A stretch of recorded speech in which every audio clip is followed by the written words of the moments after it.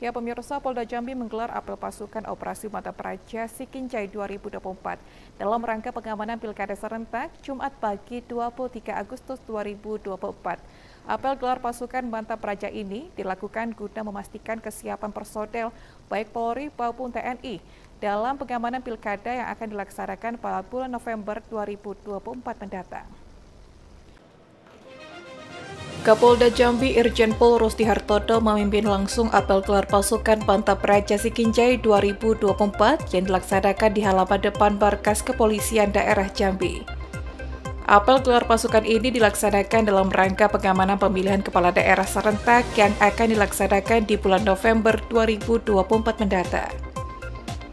Apel diikuti oleh ratusan personel dari kepolisian dan TNI, serta unsur Forkopimda Provinsi Jambi dan gabungan instansi terkait.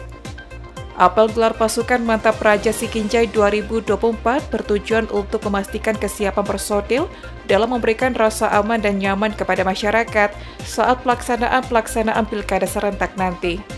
Kapolda Jambi Irjen Pol Rusti Hartono mengatakan, Kepolisian daerah Jambi dibantu TNI telah siap untuk melakukan pengamanan pilkada, baik di pemilihan gubernur, bupati, maupun wali kota di Provinsi Jambi.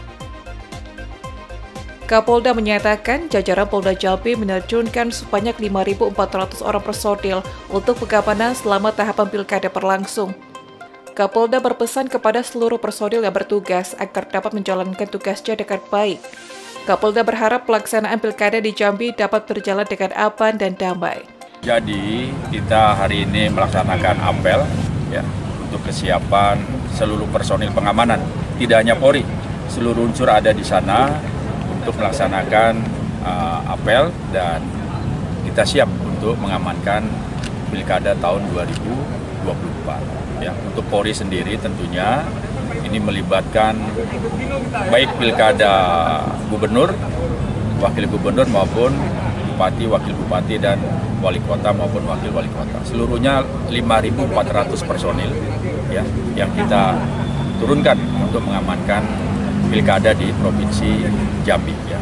Alhamdulillah kami seluruh unsur pemerintah aparat sudah siap untuk mengamankan dan insya Allah juga masyarakat juga siap untuk menggelar pilkada yang aman dan damai dan itu juga kita berharap pilkada di Jambi dapat berjalan dengan aman, dengan damai, dengan jujur, dengan adil dan bermartabat. Itu harapan kita bersama. Daerah mana yang masih rawan?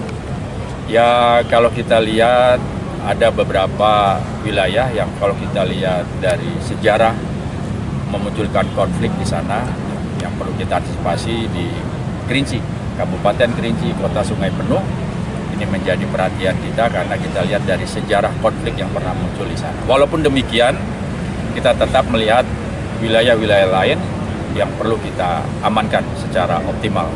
Lina Liska, Cek TV, melaporkan.